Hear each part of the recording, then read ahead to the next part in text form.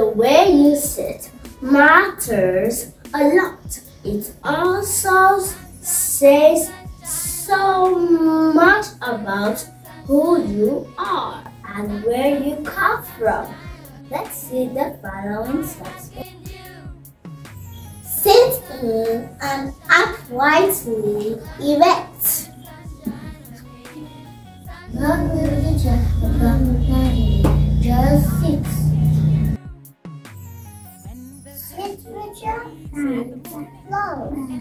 Never cross your legs.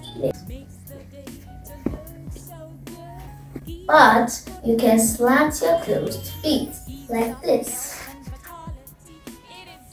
Or